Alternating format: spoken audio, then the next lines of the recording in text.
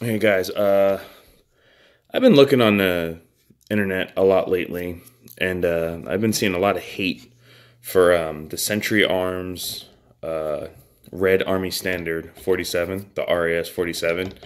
And um, it's funny as hell because I've owned one now for a year and some change. I, I, I don't know the exact uh, day I got this. It was definitely last year. But um, I don't I don't know. I guess it's just one of those Century Arms hit or miss type ordeals because uh, my rifle has not malfunctioned once since I've had it, and all I do is I clean the ever living shit out of it. Like I'll bring it up to my shower, clean it warm soapy water, you know, fucking Marine Corps special if you want to call it that, and I lubricate it with Royal Purple uh, 5W20 motor oil, and um yeah, there is some kind of weird ass wear marks and stuff like that, but the gun fires accurately and whatnot. And here it is, a little little baby,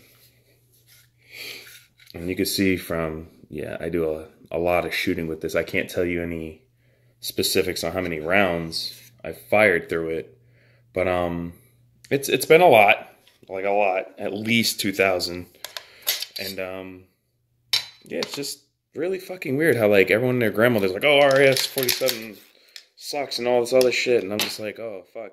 Well, I trust this rifle with my fucking life. So um, I'm to rip apart the bolt and everything for you guys so you can see what's what the weird wear marks I'm talking about are.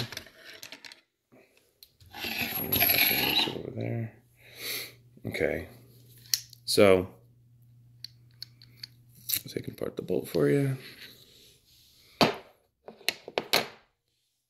I mean, this isn't really weird wear marks or anything. Like nothing's like flattened out or nothing like that. That's just wear marks. Um, you have wear marks here. No gouges on this bolt. Come on, bitch, focus. You don't want to focus? Okay, whatever. Yeah, there's no gouges or anything. It's just, you know, typical wear marks. The only ammo I run through this is uh, the Tula ammo or Tulammo, whatever people want to call it. Um, yeah, there's no really crazy wear marks on this bolt. And uh, the last time I brought this firing uh, to a range, I'm sorry, um, I went up to the, the gunsmith and Rob Ski from AK Oper- Operators Union or whatever he's like really up on this uh, go no go gauge type shit. So I was like, fuck it, let me try it. Uh, it didn't close on the no go gauge, so I was like, okay, I guess I guess I'm one of the lucky ones with the RAS 47. Um, but with that being said, now we're going to talk about the carrier. Okay, that should not be like that. Now I noticed that happened probably through the first shit two boxes. So that's what like 200 rounds. Um, let me try to get out a picture. You gonna focus? No, you're not gonna focus. Whatever. Okay, so yeah, that shouldn't be like that. And I noticed that after the first 200 rounds, and I was like, oh man, that's fucking gonna piss me off a little bit. After I kept on shooting the rifle, it just smoothed itself out. Like it's weird as hell. But um, yeah, that's not supposed to be like that. Other than that, I mean, you have wear marks there, wear marks there. I mean, you're gonna have wear marks all over the place. But there's no gouging except for right in here. I mean, the bolt in, out. You don't hear getting hung up on anything. So you call me a fucking Riri if you want, but so far this rifle has been something I would take in a fucking battle any day, all day. And uh yeah, there's absolutely no crazy marks on this. Um the hammer um everything looks good.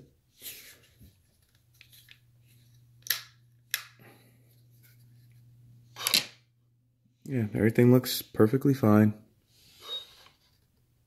Yep. So, um, yeah, I don't know. I don't know if I lucked out. And then another big part, um, which everyone freaks out about, is this part, which shows where, you know, this part, and everyone's like, oh, you know, your fucking rifle's gonna explode.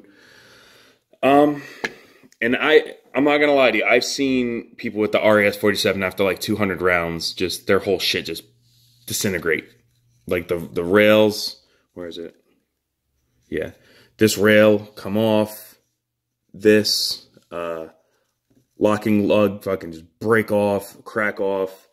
Um, so I guess I'm one of the lucky ones, but I just wanted to share with you guys my experience on um, this rifle because I've been shooting it for a long time. Well, not a really long time, but for uh, a while now.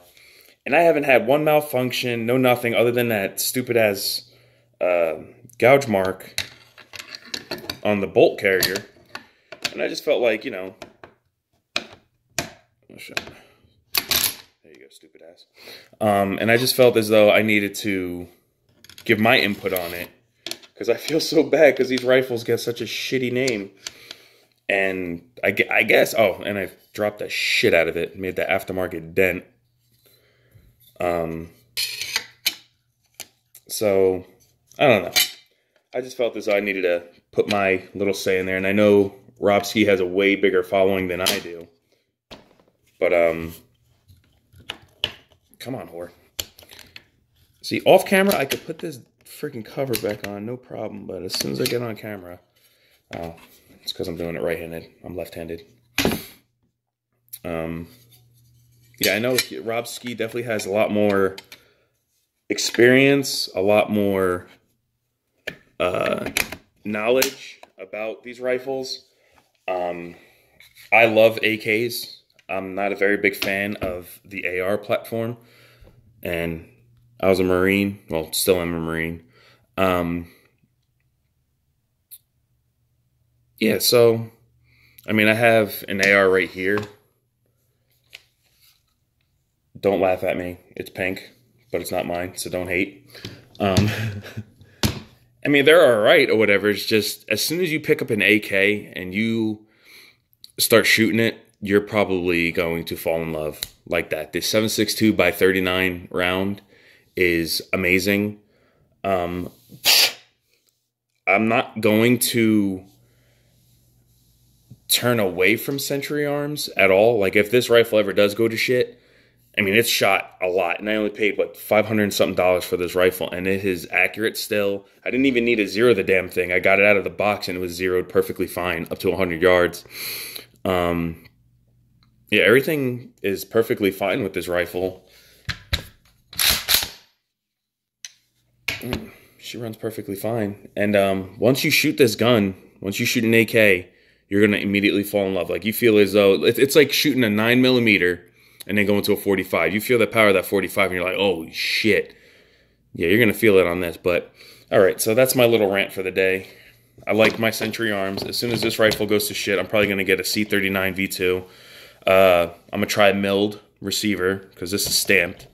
So I went the cheap route. But like a lot of people say, if it ain't broken, don't fix it. So I don't need to unfuck my RAS. So you guys have a good day, and uh, thanks for listening.